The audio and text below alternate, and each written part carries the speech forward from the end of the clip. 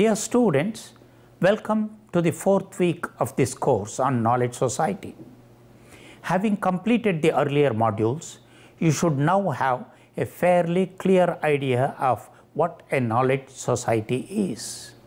This week, we will look into one of the major issues facing most societies and countries, more particularly the developing countries and the disadvantaged sections of all societies.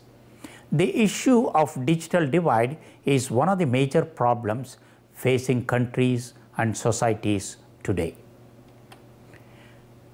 Digital divide deprives disadvantaged countries and disadvantaged sections of societies in all countries from reaping the benefits of information resources and information and communication technologies. The digital divide is seen as a major hurdle and barrier that needs to be overcome to ushering in a knowledge society. In this module, you will be looking into different manifestations of digital divide and explore how these are being addressed.